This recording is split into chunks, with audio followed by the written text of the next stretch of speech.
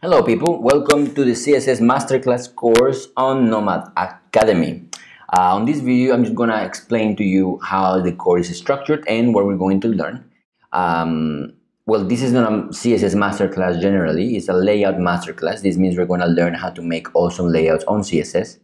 Um, we're going to see the two methods that are currently available for us, which is, the first one is Flex, where we are not going to spend so much time with because it's not it doesn't take so long. It's very simple not complex and i think you know a little bit of it. The next one is a new one. It's called css grid.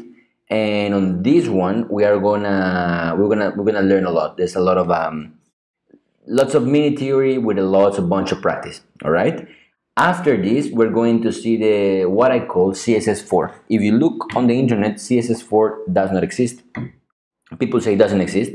So I'm just gonna use it as a term like a modern CSS, all right? Because CSS changed the way that they were um, making it, so it's not with versions anymore, but with small small updates along the way, all right? That's why we don't have like CSS4 and CSS5. like it's more like small updates and more updates like that. But we're going to see one of the most excited exciting features of the like new modern CSS, which is uh, new pseudo selectors, variables, custom medias and selectors, uh, font variants, and nested rules, which is something super cool. And then I'm going to show you how you can use CSS4 today with Parcel.